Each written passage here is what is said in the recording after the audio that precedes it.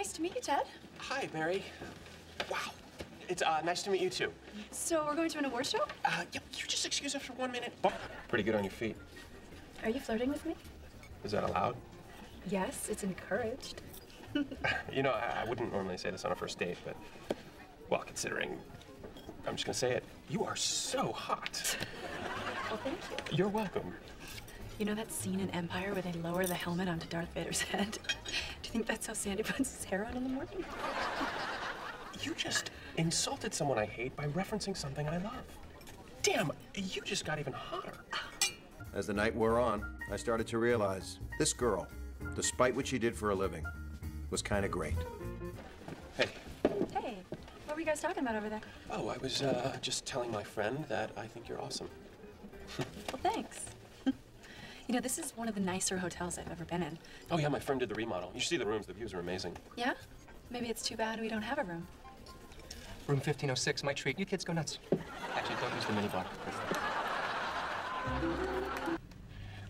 So did you and Barney ever? There's not enough money in the world. Oh, thank God. you know, Mary, I've never uh, done this before. Done what?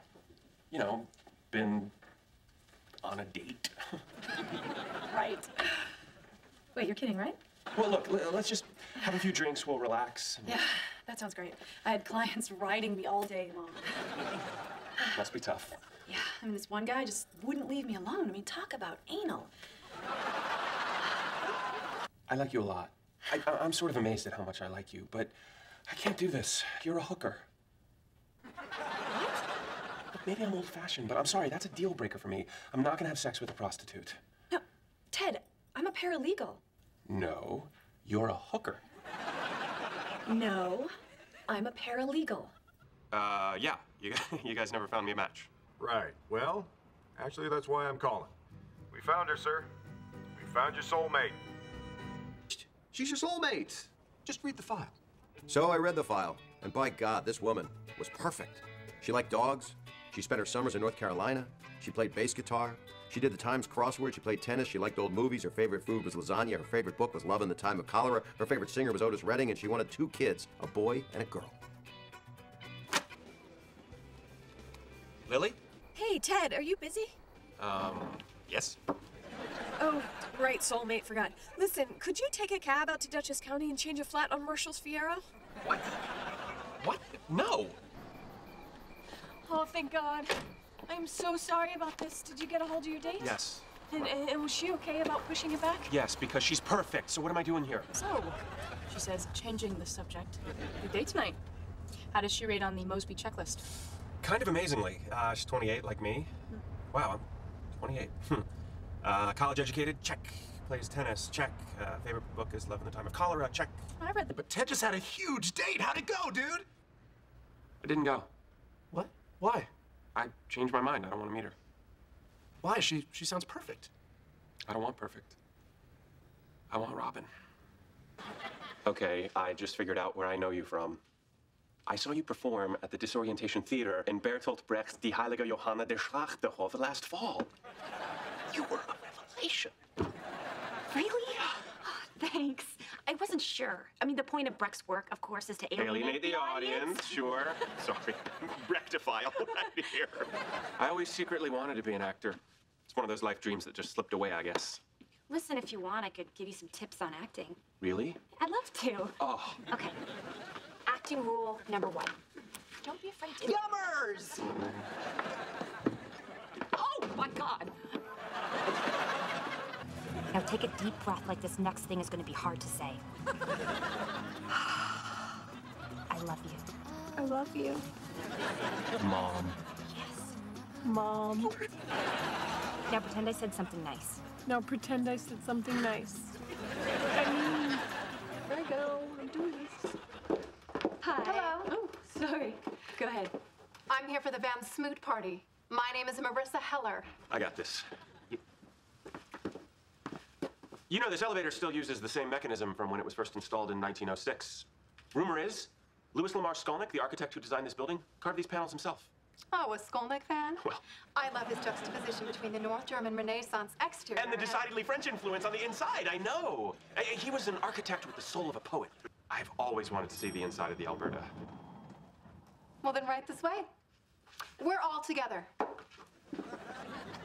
I don't own a TV. The only operas I watch are at the Met.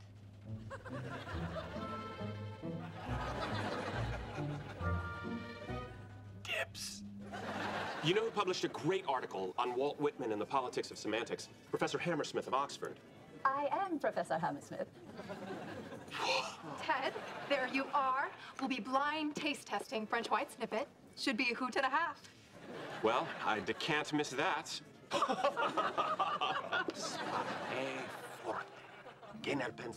Wow, this is weird. Never gotten this far. You know, I actually sound kind of. I gotta go. Guess what? Smooth son of a bitch just picked up a girl at the bar. Barney, you're cheating on Nora already. No, guys, it's me, Janet McIntyre. Struck up a conversation at the bar while ordering. She gets bread right away. We laughed. It was a thing. Boom. Going out tomorrow night. Uh, Janet, I have a theory. People don't get the chance to just discover each other anymore. So here's my idea. Before we go out tomorrow, let's not do any prior internet research on each other. It sounds like I'm hiding something horrible, doesn't it? I'm pretty sure you're a serial killer. I'm not. I'd love to get to know you in person, not on my computer. I like that. What started out sounding really creepy turned out really sweet. That's kind of my move. this is so great, right? See, if we'd researched each other, we'd both be secretly steering the conversation one way or the other. But this is more exciting, right? Way more exciting. I mean, we can talk about anything we want. Anything. So, how was the traffic getting here? you picked me up at my apartment. I can actually hear the sound of her vagina being boarded up. I gotta be honest, Janet. First of all, this is Times New Roman. Second, I'm having trouble coming up with things to talk about. You? I'm sitting here thinking, damn it, I wish I had something as good as that font thing. That's gold. Okay, let's do this. Let, let, us find out each other's likes and dislikes. Start with something totally random. Like, um, oh, I don't know. Are you a fan of, I don't know, Annie Hall? I'm guessing that's not random at all. And you used that movie to test whether a girl is cool. No, no, it's the first movie that popped I love my- Annie Hall. Oh, thank God you're cool. Uh, well, I gotta run to the restroom. But no internet, mister. If you find out my deep dark secret, I'll have to kill you. It's just my friends checking up on me. I'll politely let them know we're having a lovely time. Ted, are you okay? You look freaked out. Janet McIntyre was amazing.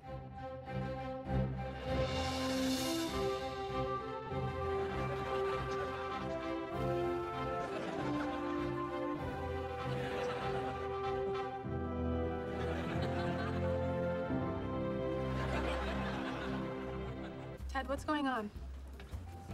Nothing. Did I mention that I'm the youngest architect in New York history to have a skyscraper built? Oh. So, I'm not quite as far beneath you as you might think.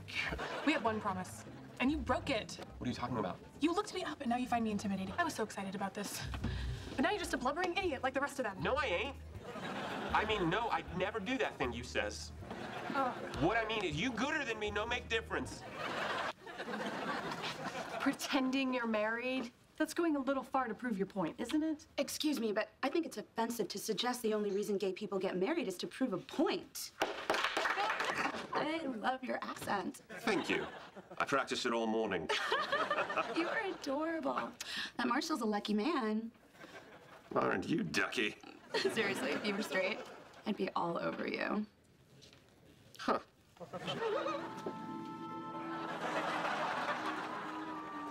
Trouble in paradise.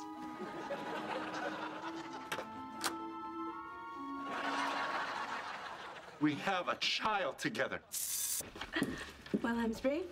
Ready to see what it's like to be with a woman? I suppose there's a first time for everything. Go ahead. Turn it over.